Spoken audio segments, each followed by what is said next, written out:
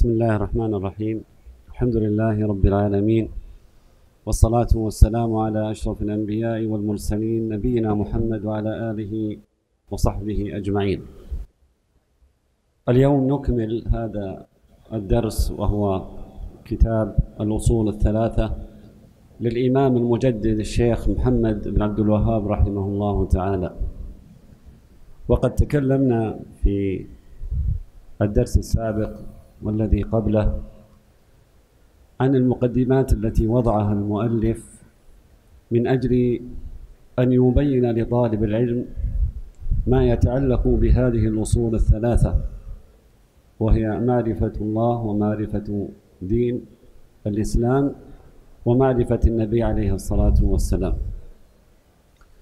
وذكر هذه المقدمات الثلاث ثم اليوم نبدأ بإذن الله بالأصول الثلاثة التي ذكرها المؤلف. نعم.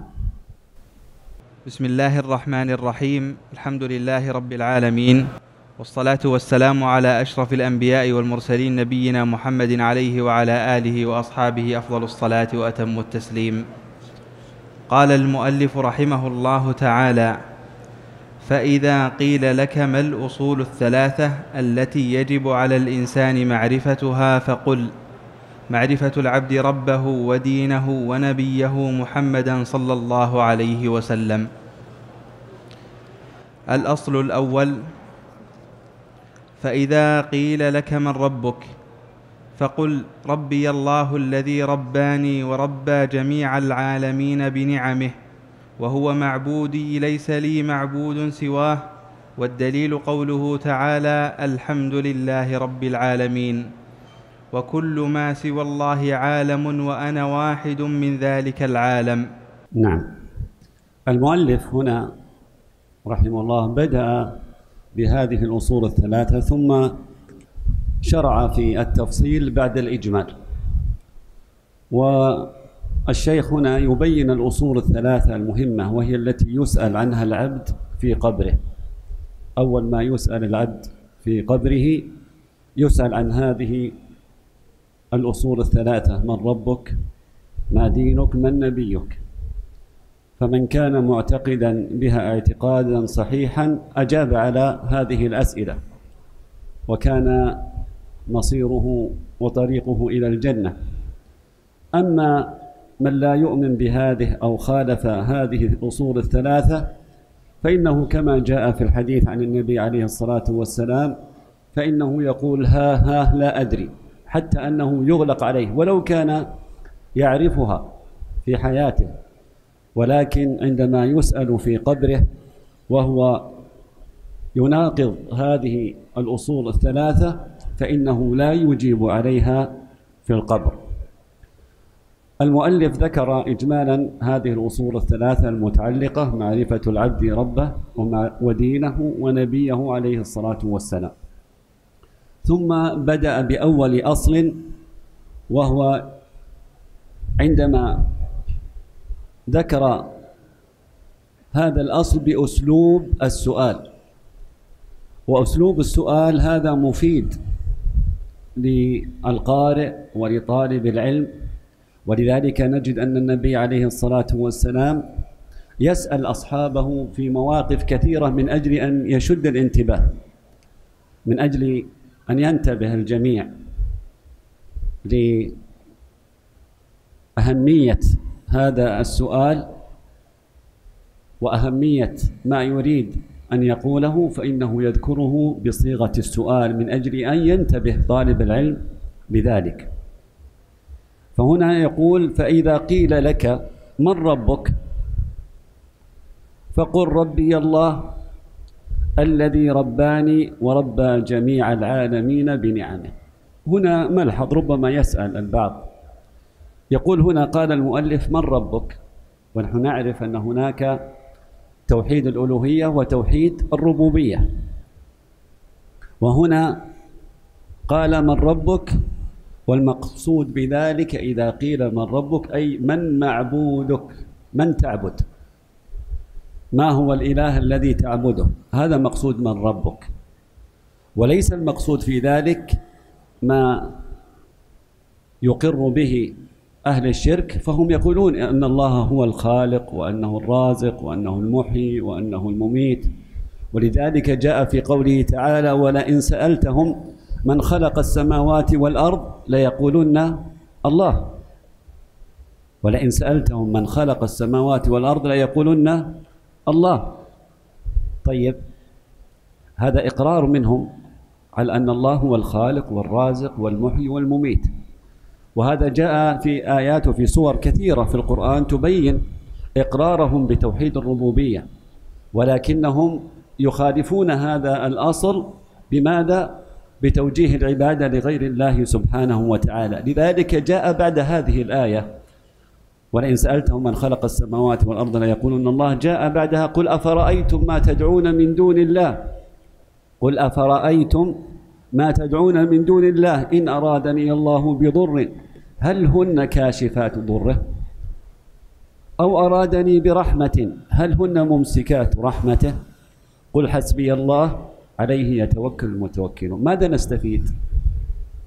جاءت الآية الأولى وبعدها جاءت آية أخرى تبين ما يتعلق بتوحيد الربوبية ومن لوازم توحيد الربوبية.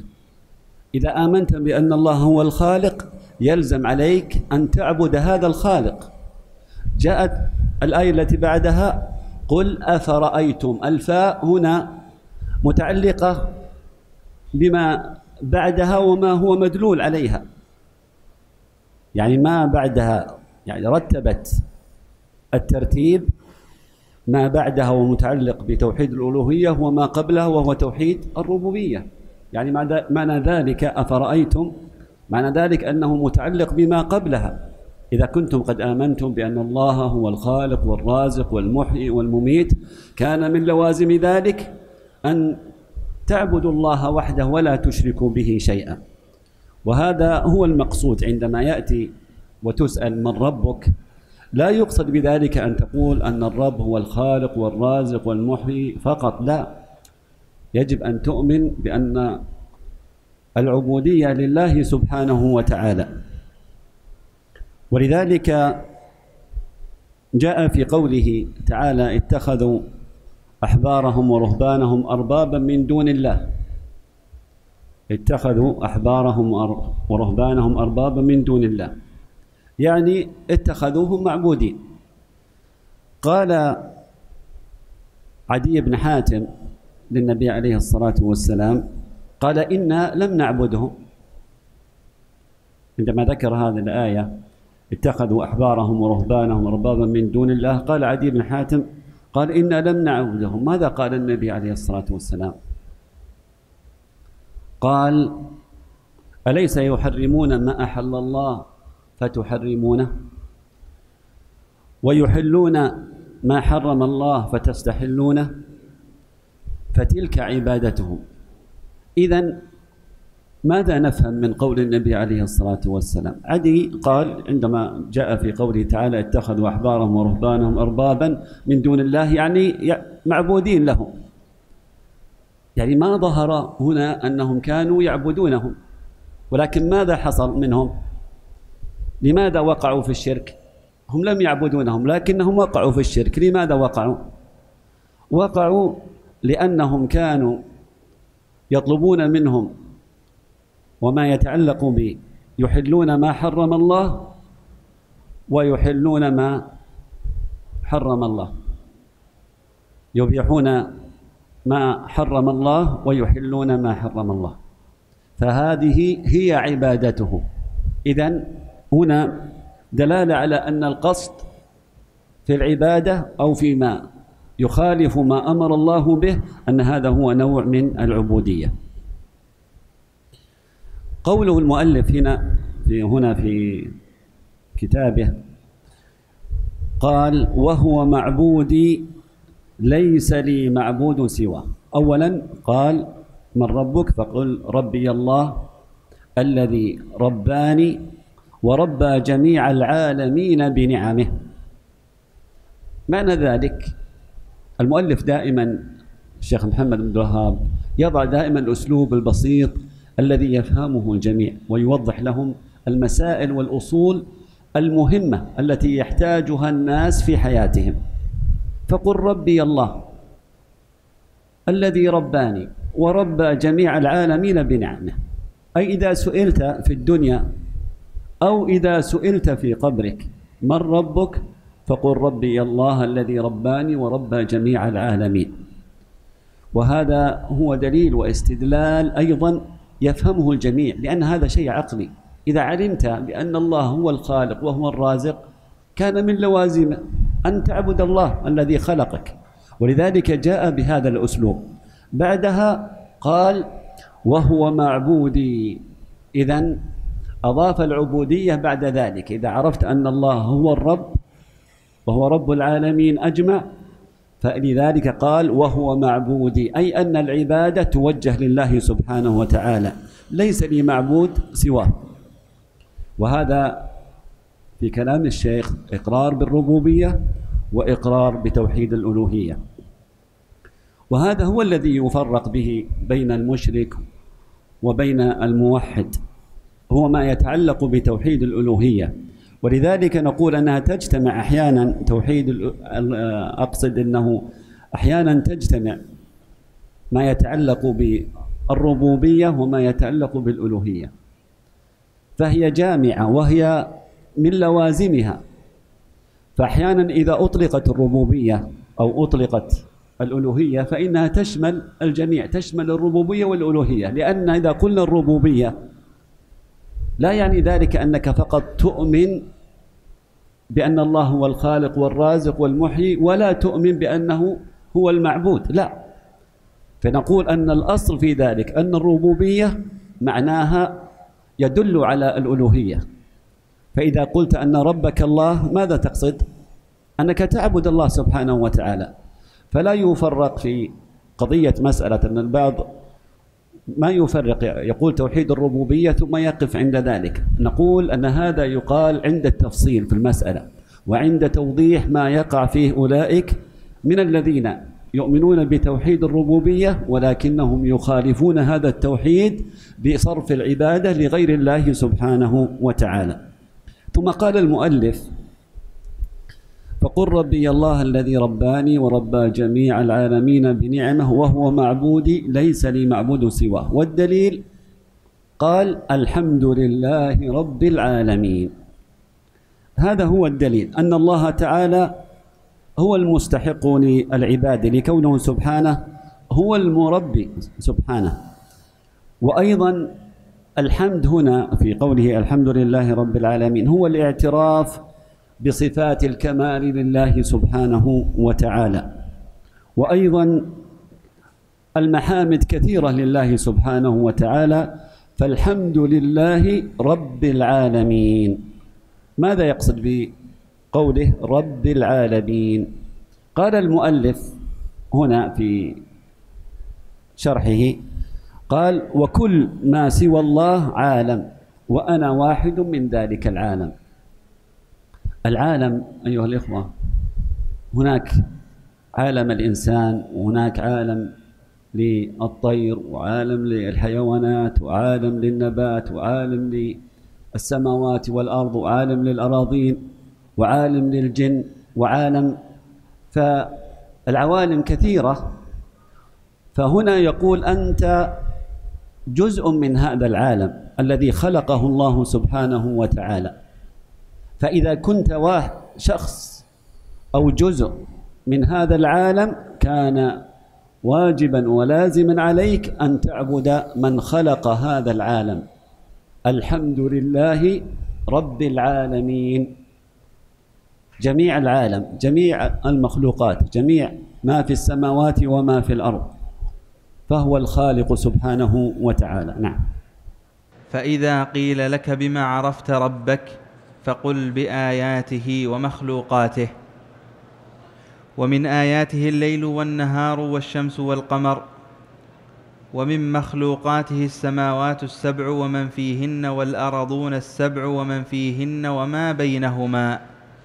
والدليل قوله تعالى ومن آياته الليل والنهار والشمس والقمر لا تسجدوا للشمس ولا للقمر واسجدوا لله الذي خلقهن إن كنتم إياه تعبدون. وقوله تعالى إن ربكم الله الذي خلق السماوات والأرض في ستة أيام ثم استوى على العرش. يغشي الليل النهار يطلبه حثيثا والشمس والقمر والنجوم مسخرات بأمره. ألا له الخلق والأمر. تبارك الله رب العالمين. والرب هو المعبود والدليل قوله تعالى يا أيها الناس اعبدوا ربكم الذي خلقكم والذين من قبلكم لعلكم تتقون الذي جعل لكم الأرض فراشا والسماء بناء وأنزل من السماء ماء فأخرج به من الثمرات رزقا لكم. فلا تجعلوا لله أندادا وأنتم تعلمون. قال ابن كثير.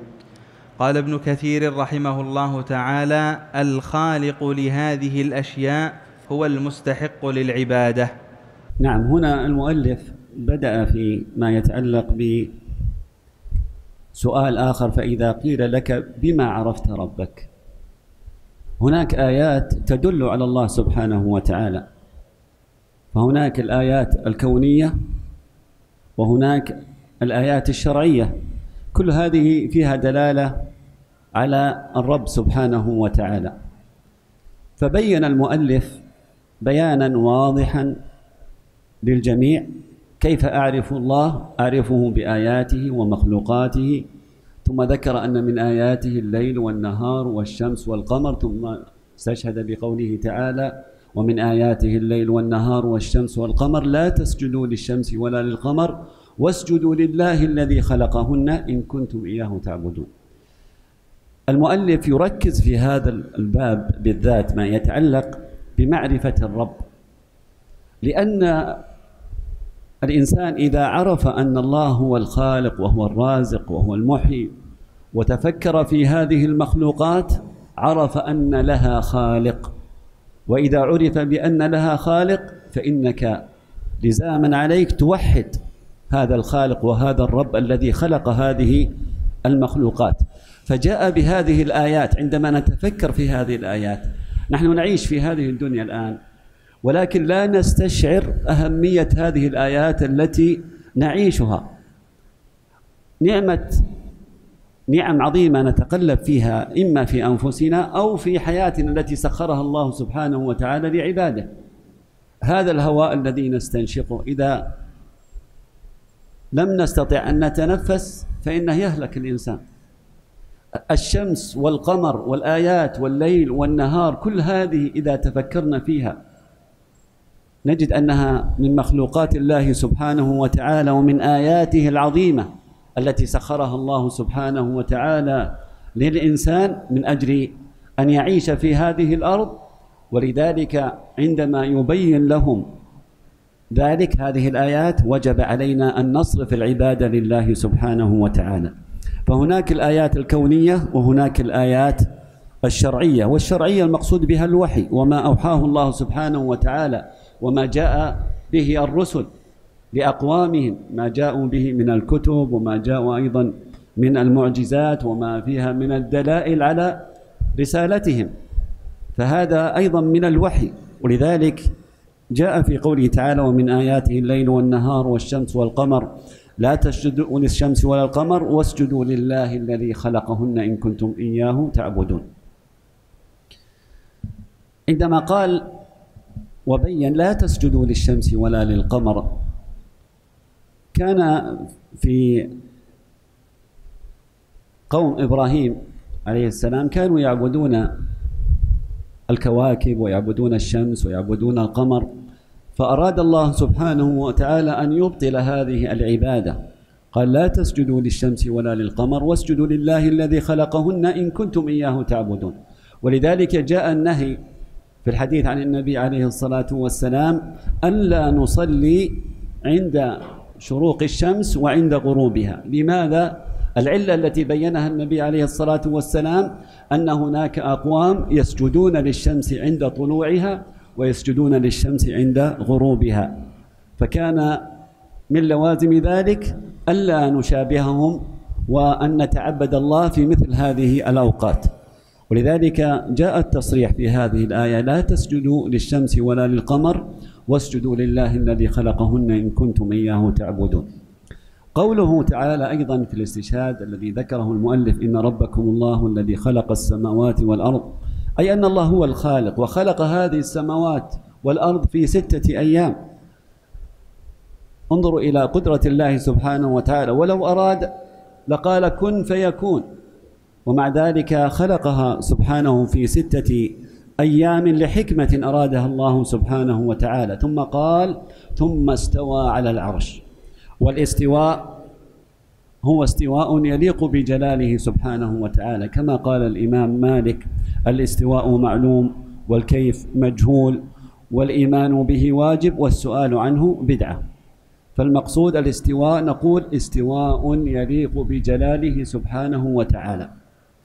ولذلك هذا فيه رد أيضا على من يقول أن آه، الاستواء على العرش أنه القدرة أو أنه آه، بمعاني مخالفة لهذا المعنى. ولذلك نقول أن ما يتعلق بالاستواء هو استواء معلوم. نؤمن به ولكن نقول أن الكيف مجهول ونبين أن السؤال عنه بدعة ونقول أن الإيمان به واجب وهذا هو ما جاء في هذه الآية ثم استوى على العرش وهو استواء يليق بجلاله. هذه الإجابة فيما يتعلق بالاستواء على العرش. ثم قال يغشي الليل النهار ولذلك نجد أن الليل يأتي ويغطي النهار ثم يأتي النهار ويغطي الليل. وهذه من آيات الله سبحانه وتعالى العجيبة التي قليل ما يتفكر فيها الناس. هذه النعمة في نعمة الليل ونعمة النهار هذه من النعم العظيمة. يستطيع الإنسان أن يعرف فيها الأوقات ويستطيع أن يعرف ويعيش وأيضا الليل سبات والنهار معاش فينام في الليل والنهار فيه المعاش. فهذه من نعم الله يتفكر المسلم في هذه الآيات. وهذه من دلائل خلق الله هذه من دلائل ما يتعلق بمعرفة الله سبحانه وتعالى كما ذكر المؤلف كيف إذا سئلت كيف تعرف ربك؟ فتعرفه بهذه الآيات التي جاءت في الآيات الكثيرة. ثم استوى للسماء كما في قوله تعالى في قوله سبحانه ألا له الخلق والأمر. ألا له الخلق والأمر. الأمر هنا الخلق بيناه والأمر هو أمر إما أن يكون كوني أو أن يكون أمر شرعي. الأوامر من الله سبحانه وتعالى التي يأمر بها إما كونية وإما شرعية. الكونية في قوله تعالى ثم استوى إلى السماء وهي دخان فقال لها وللأرض ائتيا طوعا. قالت أتينا طائعين فأتت السماء والأرض طوعا لله سبحانه وتعالى. وأيضا في قوله إنما أمره إذا أراد شيئا أن يقول له كن فيكون. هذه أوامر كونية من الله سبحانه وتعالى. وهناك الأوامر الشرعية التي أمرنا بها. ما يتعلق بالعبادات من الصلاة والصيام والزكاة والحج وغيرها فهذه هي الأوامر الشرعية. له الأمر سبحانه له الخلق وله الأمر سبحانه وتعالى. من المسائل التي في هذا الباب أيضا قال المؤلف والرب هو المعبود. أيضا يؤكد المؤلف أن العبادة يجب أن تصرف لله سبحانه وتعالى. والدليل يا أيها الناس اعبدوا ربكم.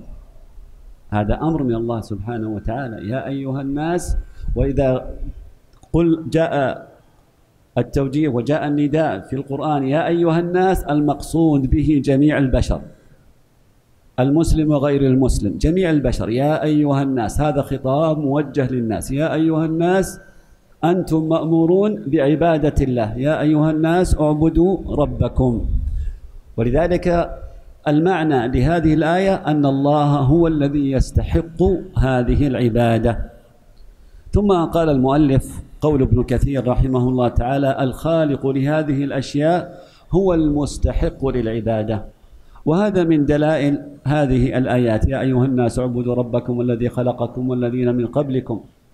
فالله هو الخالق وهو الرازق. فجاء في تبويبه رحمه الله وأيضا ما ذكر المؤلف أيضا من كلام ابن كثير رحمه الله بدلالة ذلك بأن العبادة تصرف لله سبحانه وتعالى. نعم. وأنواع العبادة التي أمر الله بها مثل الإسلام والإيمان والإحسان ومنها الدعاء والخوف والرجاء والتوكل والرغبة والرهبة والخشوع والخشية والإنابة والإستعانة والاستعاذة والاستغاثة والذبح والنذر وغير ذلك من أنواع العبادة التي أمر الله بها كلها لله تعالى. والدليل قوله تعالى وأن المساجد لله فلا تدعوا مع الله أحدا. هنا يشرع المؤلف في ذكر جملة من أنواع العبادات التي تصرف لله سبحانه وتعالى. إذا عرفنا أن الله هو الخالق وأنه هو المعبود. اذا يجب أن تصرف جميع العبادات لله سبحانه وتعالى. فجاء المؤلف يوضح لنا ما هي العبادات التي يجب أن تصرف لله سبحانه وتعالى. ثم ذكر أنواع العبادة وما يتعلق بالإسلام. وهذا قوله في الإسلام والإيمان والإحسان هذا يدل عليه الحديث عمر رضي الله عنه عندما جاء جبريل إلى النبي عليه الصلاة والسلام. وأيضا ذكر منه الدعاء والخوف والرجاء والتوكل والرغبة والرهبة والخشوع والخشية والإنابة والاستعانة والاستعاذة والاستغاثة والذبح والنذر. كل هذه الأشياء حصل فيها الشرك. جميع ما ذكر المؤلف لم يذكرها المؤلف هنا إلا لأنه وقع الشرك في هذه الأنواع أنواع العبادات. ذكر الأنواع العامة المتعلقة بما يتعلق بالإسلام والإيمان والإحسان والمؤلف هنا سوف يؤجل ما يتعلق بما يتعلق بالإسلام والإيمان والإحسان لأنه متعلق بالأصل الثاني. ولكنه ذكر ذلك اجمالا من أنواع العبادات المتعلقة بأهم قضية وهي ما يتعلق بالتوحيد وما يتعلق بما يضاده وهو الشرك. ثم ذكر هذه الجملة وسوف يبين لنا كل نوع من أنواع هذه العبادة سوف ينو سوف يذكر لنا الدليل على ذلك. هذا هو ما ذكره المؤلف عندما قال أن معرفة سوف يذكر هذا سوف يقول ويبين وهو المهم أيضا أنك لا تأخذ بأي أمر إلا بدليله. لا تأخذ بهذا الأمر إلا بالدليل. فلذلك نقول أن العالم وطالب العلم عندما يقول بقول يجب أن يكون هذا مبنيا على ماذا؟ على الدليل. أما عامة الناس لا يحتاجون الدليل إنما هم يقلدون ويسألون من يثقون به من أهل العلم فيكفيهم أن هذا جائز أو لا. لأنه يعرف ويعلم بأن هذا العالم وطالب العلم لم يفتي بهذه المسألة إلا بماذا؟ إلا بدليل. ولذلك يجب أن يفرق. لذلك أذكر فائدة هنا متعلقة بمسألة الفتوى.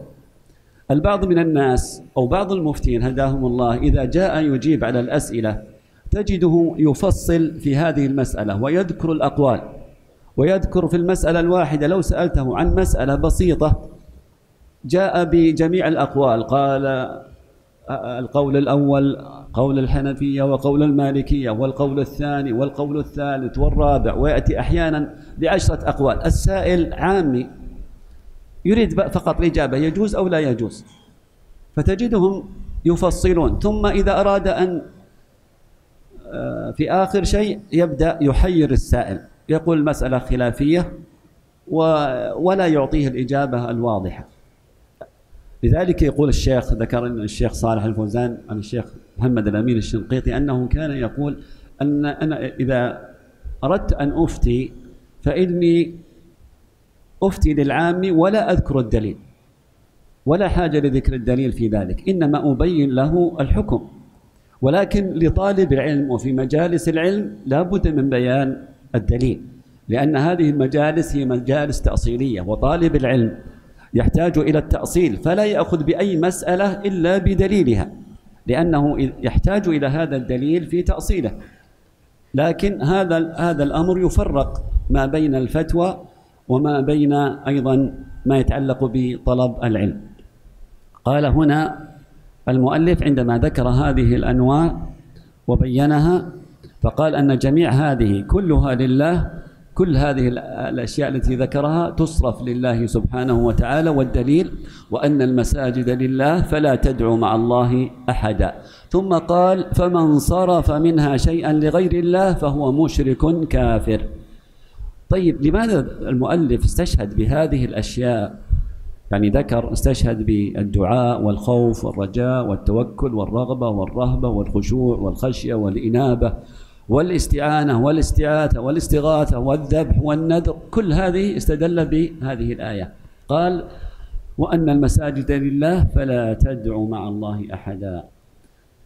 المؤلف أراد أن يبين بهذا الدليل أن العبادة والتي مكانها والتي تصرف فيها مثل هذه العبادة أنها أيضا في, في هذه المساجد وأن المساجد لله أي لا تصرف العبادة إلا لله سبحانه وتعالى. جميع هذه الأعمال كلها أعمال قلبية وداخلة فيما يتعلق ب آه، عبادة وتوحيد الله سبحانه وتعالى وهي تصرف في هذا المكان. فالمسجد والمساجد دليل على ذلك فلا تدعو مع الله أحدا.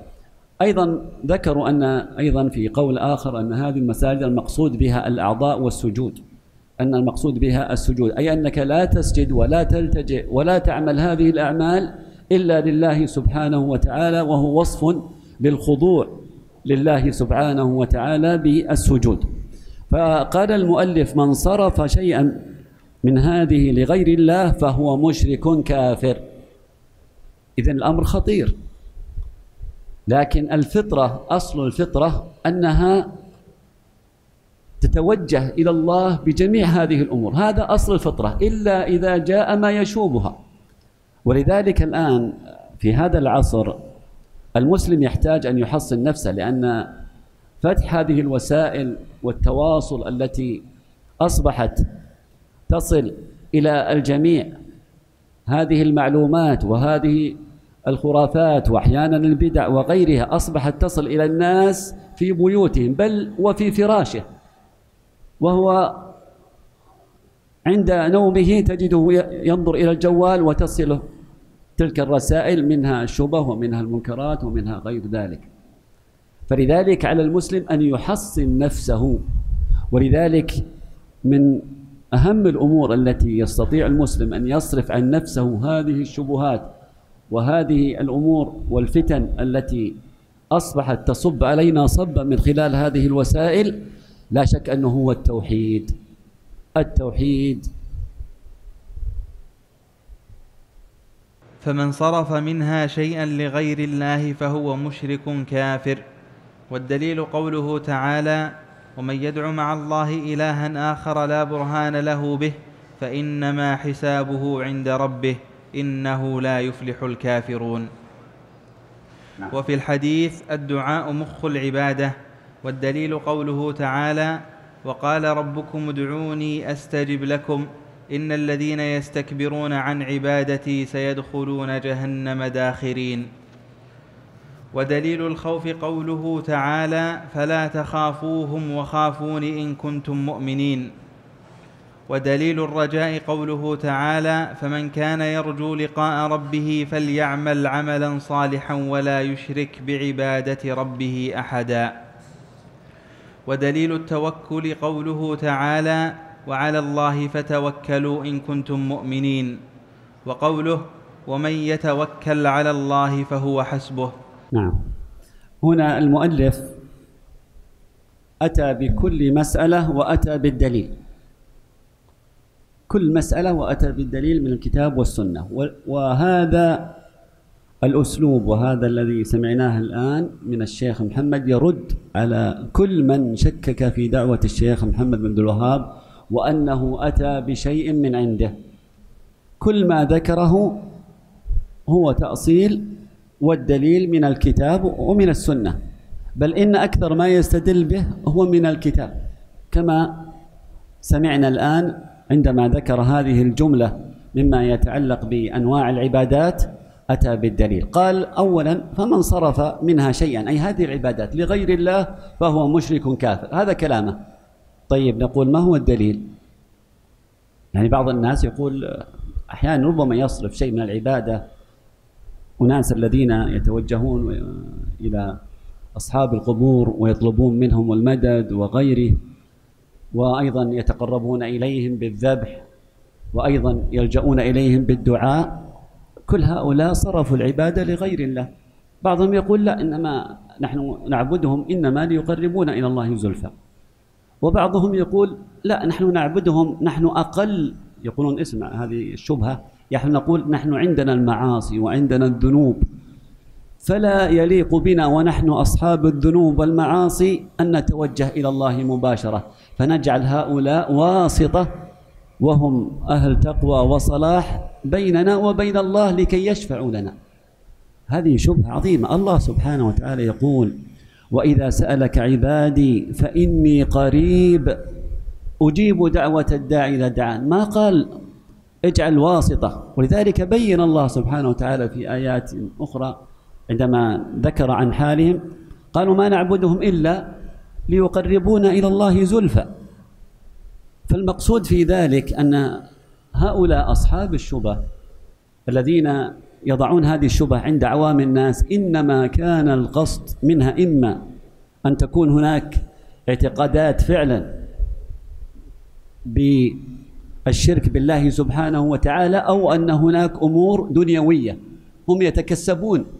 في الغالب أصحاب الأضرحة والذين يحاولون جلب الناس لهذه الأماكن إنما أرادوا جمع المال ولأن الناس يحتاجون أحيانا إلى من يرشدهم ولكن هؤلاء أرشدوهم والعياذ بالله إلى الشرك.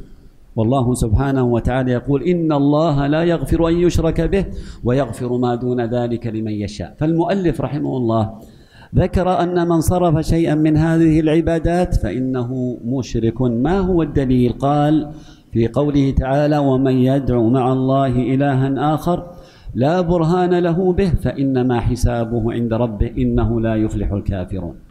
فهذا هو الدليل على هذا الباب.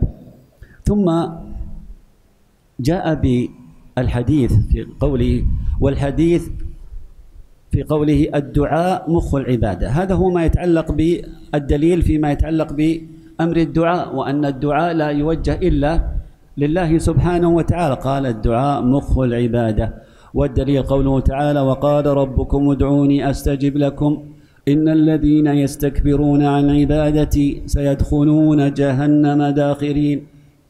واضح المسألة. إذا الدعاء لله سبحانه وتعالى. والله الخالق الرازق المحيي المميت هو الذي من طلب منا أن نوجه الدعاء له. وقال ربكم ادعوني أستجب لكم. إن الذين يستكبرون عن عبادتي فجعل الدعاء ماذا؟ عبادة. من أعظم العبادات وهو الدعاء والتوجه هذه العبادة لله. فكيف بمن يقول مدد مدد يا فلان؟ أو مدد للنبي يا رسول الله؟ أو مدد. ألا يكون هذا قد خالف هذا الأصل؟ نعم. خالف هذا الأصل. الله سبحانه وتعالى يقول في قوله وقال ربكم أي لكم أيها الناس ادعوني أستجب لكم.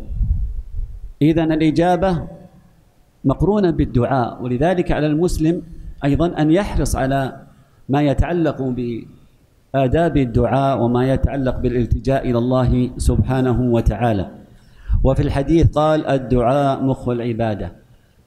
أنا الآن لما قرأت هذه العبارة الدعاء مخ العبادة أتذكر حقيقة كثير من كبار السن ممن نعرفهم من الذين لا يقرؤون ولا يكتبون ولكنهم حفظوا هذه الأصول الثلاثة. فتجدهم دائما يستجهدون بهذا الحديث. الدعاء مخ العبادة. دائما نسمعها من كبار السن. لماذا؟ لأنهم أصلوا على هذه المسائل المهمة وهي الأصول الثلاثة. وكما ذكرت أنا سابقا وأؤكد عليها الآن في هذا المجلس وهو أنه يجب على المسلم أن يؤصل نفسه في هذه المسائل لأنك إذا أصلت نفسك استطعت أن ترد جميع الشبه التي تثار عندك وخاصة في هذا الزمن. فنجد أن هؤلاء العوام يستشهدون بهذه بهذا الحديث وإن كان هذا الحديث بهذا اللفظ ضعيف ولكن آه، له شاهد من حديث آخر وهو الدعاء العبادة عند أبي داود. فالحديث له شاهد في هذا الباب ولكن الإضافة في قوله مخ العبادة هي التي فيها الضعف ولكن المعنى صحيح أن الدعاء هو العبادة والدليل كما ذكر المؤلف وقال ربكم ادعوني أستجب لكم إن الذين يستكبرون عن عبادتي سيدخلون جهنم داخلين. ثم جاء هذا أولا الدعاء. بعد ماذا؟ من العبادات التي يتعبد بها المسلم لربه؟ الخوف. الخوف. طيب ما هو الدليل؟ قال فلا تخافوهم وخافوني إن كنتم مؤمنين. لا فلا تخافوهم وخافوني إن كنتم مؤمنين. الخوف البعض من الناس يخاف من من أشياء موجودة في حياته الطبيعية إما من عدو من عدو أو من سبع أو من آه، أي أمر أو من رجل أو أو غيره من الأمور. هذا الخوف هو الخوف الطبيعي وهذا الذي لا يحاسب ولا يتعلق بأمر العبادة ولكن هذا خوف طبيعي يخاف إما من آه، طريق أو من رجل أو من آه، يتخوف أحيانا من أشياء حتى في أمور حياته في ما يتعلق بالاختبار والنجاح وغيره هذا الخوف هو الخوف الطبيعي والخوف من من شخص. وهذا يدل عليه كما في قوله تعالى فأصبح في المدينة خائفا يترقب. هذا الخوف الطبيعي يخاف من عدو أو من غيره. هناك خوف السر وهو أن يخاف من غير الله إما من وثن يظن أن هذا يضر أو أو ينفع أو من الأولياء ويظن أنهم ينفعون ويضرون وربما أنه يصاب بمكروه أو من السحرة. يذهب إلى الساحر ويخاف منه. ولذلك هنا مسألة مهمة خاصة فيما يتعلق بهذا الخوف. هو ميزان. النبي عليه الصلاة والسلام قال من ذهب إلى ساحر فإنه لا تقبل له صلاة أربعين يوما. وجاء في حديث آخر فقد كفر بما أنزل على محمد. هذا المعنى هو لا يخرج من الملة. من أتى كاهنا أو عرافا فصدقه بما يقول فقد كفر بما أنزل على محمد. ذكر أهل العلم أن هذا الكفر لا يخرج من الملة لكن الإشكال إذا خاف من هذا الساحر أنه يضر وينفع في هذه الحالة فإنه يقع في ما يتعلق بالشرك الأكبر وهذا هو الخطر. يظن ويعتقد بأن هذا الساحر ينفع ويضر فلا شك أن هذا وقع فيما يتعلق بالخوف المنهي عنه. وإنما الخوف هو من الله سبحانه وتعالى. هو يذهب إلى الساحر هو لا يعتقد ولكن يعلم بأن هذا الساحر يستعين بأمور معينة وهم في الغالب يكفرون قبل أن يكونوا سحرة. نسأل الله السلامة والعافية. فهذا ما يتعلق بالخوف وهو خوف السر. يعتقد في داخل نفسه أن هذا الولي وصاحب هذا القبر أنه ينفع وأنه يضر وأنه يجيب الدعاء وأنه أيضا واسطة بينه وبين الله سبحانه وتعالى. كل هذه تتعلق بهذا الخوف. هو الخوف الثالث أو النوع الثالث من الخوف أن يترك الإنسان ما يجب خوفا من الناس. يترك أمر واجب عليه خوفا من الناس أو خوفا من التسلط أو خوفا من أمر معين. وقد أوجب الله عليه مثل ما من يكون قد آه تولى ولاية معينة في إدارة أو في أي مكان ثم كان من واجبه أن يلتزم بهذا النظام. ولكن يرى أن بعض الموظفين عندهم أمور معينة ويخشى فيترك هذا الواجب الذي وجب عليه في أداء هذه المهمة فيتركها خوفا من هؤلاء. هذا مثال. أو أنه يترك مثلا وهو عليه ولاية على أولاده وعلى زوجته فيرى مثلا أن الزوجة تقع في محرم أو الولد يقع في محرم فيترك هذا الواجب خشية أن يترتب على ذلك أمور خاصة به. فنقول هذا خوف ولكنه لا يدخل فيما يتعلق بنوع العبادة ولكنه يأثم على هذا الخوف. والآية التي ساقها المؤلف فلا تخافوهم وخافوني إن كنتم مؤمنين. وهذا متعلق بالخوف المتعلق بالعبادة. أن تظن أن صاحب هذا القبر أو أن هذا الشخص أو هذا الساحر أنه ينفع ويضر. ثم جاء بدليل الرجاء. فقال فمن كان يرجو لقاء ربه فليعمل عملا صالحا ولا يشرك بعبادة ربه أحدا. الرجاء ما هو؟ الرجاء هو الطمع بفضل الله وإحسانه. والرجاء لا شك إذا قلنا الرجاء أنه يتضمن ماذا؟ التذلل لله سبحانه وتعالى. فيه ذل. عندما تترجى شخص مثلا في هذا نوع من الذل تتذلل له أرجوك تقول هذه العبارة فهذا الرجاء يكون هو نوع من الخضوع لله سبحانه وتعالى. والرجاء يتضمن كما ذكرنا التذلل والخضوع فلا يكون هذا الخضوع إلا لله سبحانه وتعالى. ثم ذكر المؤلف ودليل التوكل قوله تعالى وعلى الله فتوكلوا إن كنتم مؤمنين. وعلى الله فتوكلوا إن كنتم مؤمنين. أصل التوكل هو الاعتماد. توكلت على الله ماذا تقصد بذلك؟ أي اعتمدت اعتمادا كاملا على الله سبحانه وتعالى في جميع أموري وفي جميع شؤون حياتي. أي أنا متوكل على الله سبحانه وتعالى. فحقيقة ذلك أن يعتمد العبد على الله اعتمادا ماذا؟ صادقا خالصا في جميع أموره في الدنيا وما تتعلق أيضا بأمور الآخرة. أنا متوكل على الله سبحانه وتعالى. وهذا التوكل لابد أن يقترن بماذا؟ بفعل الأسباب. لا ينفع أن تتوكل بدون فعل الأسباب. التوكل على الله هو نوع من أنواع العبادة ولكن لابد أن يكون مقرونا بفعل الأسباب. فالتوكل اعتقاد التوكل هو اعتقاد واعتماد وعمل. ماذا؟ اعتقاد في القلب واعتماد على الله سبحانه وتعالى بأنه هو القادر وهو المصرف بعد أن بعد أن علمت بأنه هو المتصرف في كل شيء فإني وكلته في جميع أمري. ثم بعد ذلك فعل الأسباب والعمل الذي أوجبه الله على عبده.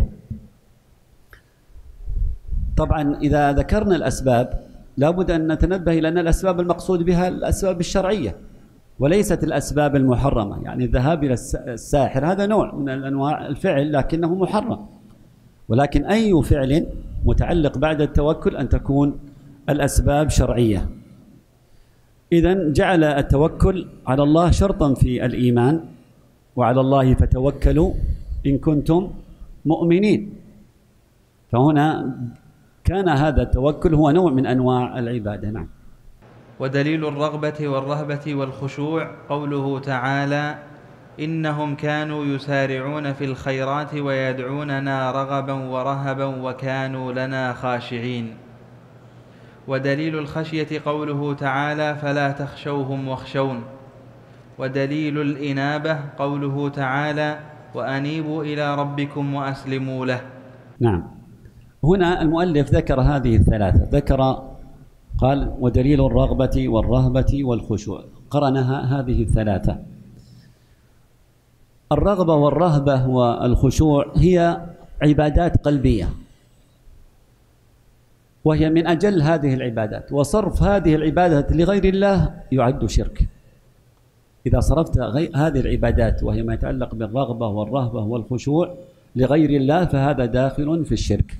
والرغبة ما هي؟ هي السؤال والطلب والابتهال والتضرع. هذه الرغبة السؤال والطلب والخضوع في عند الابتهال إلى الله سبحانه وتعالى. هذه رغبة فهو الابتهال إلى الله والسؤال والطلب والتضرع إلى الله سبحانه وتعالى. والرهبة داخلة في الخوف والفزع. والخشوع هو ماذا؟ هو التذلل لله سبحانه وتعالى يكون القلب خاشع في نفسه وهو قريب من من الخضوع الخشوع قريب من الخضوع إلا أن الخضوع يكون في ماذا؟ الخضوع في البدن تجده يتذلل وينزل بجسمه هذا نوع من الخضوع أما ما يتعلق بالخشوع فهو يكون في ماذا؟ في القلب تجده في القلب تجده خاشع وتجده آه، يستشعر أحيانا الآيات قد أفلح المؤمنون الذين هم في صلاتهم خاشعون. وهو دليل على الفلاح الخشوع دليل على الفلاح. فإذا هناك فرق بين الخضوع والخشوع ولكن الخشوع أيضا هو نوع من أنواع الخضوع. لكن إذا أفردت وقلنا ما يتعلق بالخضوع فهو نوع من التذلل لكن يكون أحيانا بالبدن. ثم قال في حال الأنبياء فيما يتعلق إنهم كانوا يسارعون في الخيرات. هذه الصفة إنهم كانوا يسارعون في الخيرات لما جاء لما ذكر الله سبحانه وتعالى حال الأنبياء. في سورة الأنبياء في آخرها هذه مهم أن يقرأها المسلم ويتدبر هذه الآيات وهي متعلقة بما كان من حال الأنبياء في الدعاء والتضرع إلى الله سبحانه وتعالى. فبعدما ذكر من حال يونس وذكر من حال الأنبياء ثم جاء في بعد ذلك قال وصفهم جميعا بماذا؟ لأن الله أجاب دعاءهم. الله سبحانه وتعالى أجاب دعاءهم. ثم جاء في آخر هذه الآيات بعدما ذكر ما حصل لهم عندما قال وأيوب إذ نادى ربه أني مسني الضر والآيات التي بعدها فأقصد أنه كان يلتجئ إلى الله سبحانه وتعالى والأنبياء يلتجئون إلى الله في المصائب وعند الحاجة يلتجئون إلى الله سبحانه وتعالى. ثم قال في هذا الوصف العظيم قال إنهم وهم أنبياء. لأن الله أجاب دعاهم. قال لماذا حصل لهم هذا التوفيق وهذه الإجابة؟ قال إنهم أي هؤلاء الأنبياء إنهم كانوا يسارعون في الخيرات. إذا من أهم الصفات التي يجب على المسلم أن يتصف بها حتى تجاب دعوات التي يدعو بها المسارعة في الخيرات. إنهم كانوا يسارعون في الخيرات. ثم قال ويدعوننا. انظروا. يدعوننا. إذا نحتاج نحن عند الدعاء ماذا نحتاج؟ قال ويدعوننا رغبا ورهبا وكانوا لنا خاشعين. ولذلك بين النبي عليه الصلاة والسلام إن الله فيما يتعلق بإجابة الدعاء قال إن الله لا يستجيب من قلب رجل غافل لاهٍ. غافل غافل يعني ما عنده خشية ولا عنده رهبة ولا عنده رغبة ولا عنده خشوع فإذا أراد المسلم أن يدعو ويطلب من الله الإجابة عليه أن يتنبه إلى هذه الأمور. أولا إنهم كانوا يسارعون في الخيرات ويدعوننا رغبا ورهبا وكانوا لنا خاشعين. إذا المؤلف ذكر هذا الشاهد فيما يتعلق في هذه العبادة وهي متعلقة أيضا بعبادة أخرى وهي وهي الدعاء.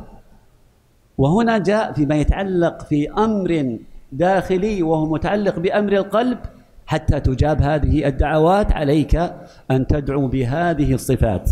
الرغبة وهو السؤال والطلب من الله والابتهال والتضرع كلها نوع من أنواع التضرع. والرهبة الخوف والفزع. والخشوع هو أيضا التذلل لله سبحانه وتعالى. فإذا جمعنا هذه الصفات فإنه يجب أن تكون صفة الداعي مشتملة على هذه الأمور. البعض يعني ذكر أه- بعض أهل العلم فيما يتعلق بإجابة الدعاء أنه يقدم بين إذا كان عنده قد نزلت عليه نازلة أو أمر من أمور الدنيا وأراد أن آه، يحقق الله سبحانه وتعالى أن أن يتقدم بالصدقة. والنبي عليه الصلاة والسلام قال في الحديث داووا مرضاكم بالصدقة. فمع ذلك لا ينفع أن تكون قد تصدقت أو غيره وكذا ومع أن القلب متوجه إلى غير الله. وهذا ما يريد المؤلف أن يبين أن الرغبة والرهبة والخشوع تكون لله وهذا حالها عندما تريد أن تدعو وهو ما حصل للأنبياء عندما دعوا الله سبحانه وتعالى ثم وضح الله هذا الأمر في هذه الآية فقال إنهم كانوا يدعوننا رغبا ورهبا وكانوا لنا خاشعين. فهذا فيه دلالة على أن الرهبة والرغبة كل هذه يجب أن تكون خالصة لله ويدعوننا رغبا أي طمعا لما عند الله لما عند الله سبحانه وتعالى. ورهبا أي خوفا من الله سبحانه وتعالى. وكانوا لنا خاشعين أي خاضعين متذللين لله سبحانه وتعالى. المسألة الثانية في قوله ودليل الخشية قوله فلا تخشوهم واخشوني. الخشية هي نوع من أنواع الخوف. الخشية هي نوع من أنواع الخوف لكنها أخص. الخشية أخص من الخوف.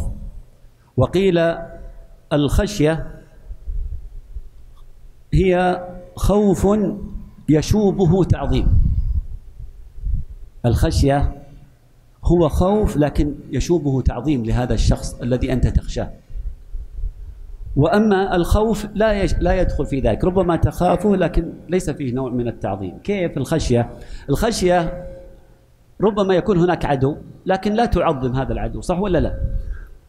ولكن إذا جاءوا عند الضريح أو عند ذلك الرجل الذي يعبدونه فإنه يحصل عندهم ماذا؟ خشية. يخافون وخشية من صاحب هذا الضريح وهذا القبر وهو ما يعتقدونه. ولذلك تكون الخشية هنا هي أخص من الخوف. ثم جاء أيضا فيما يتعلق قال في الإنابة قال في قوله تعالى وأنيبوا إلى ربكم وأسلموا له. والإنابة ما هي؟ هي الرجوع والتوبة. هذه هي الإنابة. وأنيبوا إلى ربكم. وأنيبوا أي ارجعوا وتوبوا إلى الله سبحانه وتعالى. فالمقصود بالإنابة هنا وهو التوبة إلى الله. التوبة إلى الله سبحانه وتعالى. وهذه هي توبة من الذنوب يرجع بها المسلم لمن؟ إلى الله سبحانه وتعالى. نعم. ودليل الاستعانة قوله تعالى إياك نعبد وإياك نستعين. وفي الحديث إذا استعنت فاستعن بالله. ودليل الاستعاذة قوله تعالى قل أعوذ برب الفلق وقل أعوذ برب الناس. ودليل الاستغاثة قوله تعالى إذ تستغيثون ربكم فاستجاب لكم. ودليل الذبح قوله تعالى قل إن صلاتي ونسكي ومحياي ومماتي لله رب العالمين لا شريك له ومن السنة لعن الله من ذبح لغير الله ودليل النذر قوله تعالى يوفون بالنذر ويخافون يوما كان شره مستطيرا نعم. المؤلف هنا ذكر أيضا خمسة مسائل أو خمسة أمور متعلقة بالعبادة. فذكر الاستعانة وهي طلب العون وطلب العون والاستعانة أنواع. طلب الاستعانة أنواع. هناك استعانة بالله وهو أن يستعين بالله سبحانه وتعالى وهي المتعلقة وهي بالتضرع إلى الله سبحانه وتعالى. فأنت إذا حصل لك هذا فأنت ستستعين بالقادر سبحانه بالله سبحانه وتعالى. وإذا ذكرنا الاستعانة يظهر لنا هو التفويض لله سبحانه وتعالى. إذا استعنت بأي شخص مثلا في أمور الدنيا فأنت تضع ثقة الثقة بهذا الشخص الذي استعنت به. فأنت تثق به بأنه سوف ماذا؟ سوف يؤدي أو يقوم بما طلبت منه وأنت تثق فيه. تذهب تريد واسطة تريد أمر معين تريد كذا. فإذا كان هذا الشخص عنده القدرة لتحقيق ما تريد فأنت تضع الثقة. فأنت إذا استعنت به معناها أنه وضعت الثقة. فالاستعانة بالله هو مقصودها متضمنة كمال الذل لله سبحانه وتعالى فيما يتعلق بهذه الاستعانة وهو التفويض له في كل أمرك وما يتعلق بأمورك. ثم استدل بقوله تعالى إياك نعبد وإياك نستعين. هنا هذا الأمر الأول هو ما يتعلق بالاستعانة بالله سبحانه وتعالى وهو الأصل في ذلك. هناك الاستعانة بالمخلوق على أمر يقدر عليه مثل ما ذكرنا. الاستعانة أولا بالله الأمر الثاني استعانة بمخلوق وهو يقدر على هذا الأمر فلا حرج في ذلك. فهذه جائزة للمستعين إذا كان يقدر على هذا الأمر كما في قوله تعالى وتعاونوا على البر والتقوى فتستعين بأخيك في أمر من أمور يحمل معك شيء تحتاج إلى حاجة معينة فتستعين به في قضاء حوائجك ولا حرج في ذلك. الأمر الثالث الاستعانة بمخلوق حي حاضر غير قادر. تستعين بمخلوق حي حاضر غير قادر. فهذا لغو ما له حاجة. كيف تستعين بشخص حاضر؟ لكنه لا يقدر أن يقوم بما طلبت منه فلا حاجة له أصلا. الأمر الرابع نكمل بإذن الله نكمل غدا إن شاء الله تعالى. وصلى الله وسلم وبارك على نبينا محمد.